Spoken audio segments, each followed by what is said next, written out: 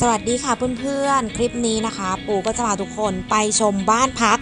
ที่อุทยานแห่งชาติเขาคอจังหวัดเพชรบูรณ์นะคะ ก็ที่นี่จะมีทั้งจุดลานกลางเต็นท์แล้วก็มีเป็นบ้านพักด้วย เดี๋ยววันนี้เราไปชมที่บ้านพักกันดีกว่าค่ะ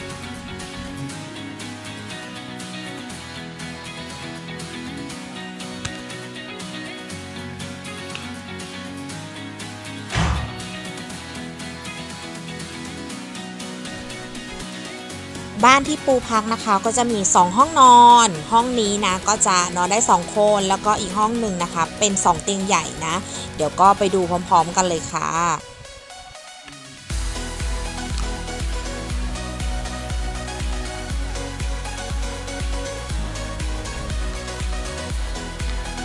สามารถเข้าไปจองที่พักนะคะที่เว็บไซต์สำนักงานอุทยานแห่งชาติได้เลยนะคะ เราก็เลือกที่อชเขาคอแล้วก็วันที่เช็คอินเช็คเอาท์นะคะ ตอนนี้เขามีส่วนลดด้วยนะคะทุกคนก็จะเหลือแค่ประมาณพันนิดๆเองต่อคืน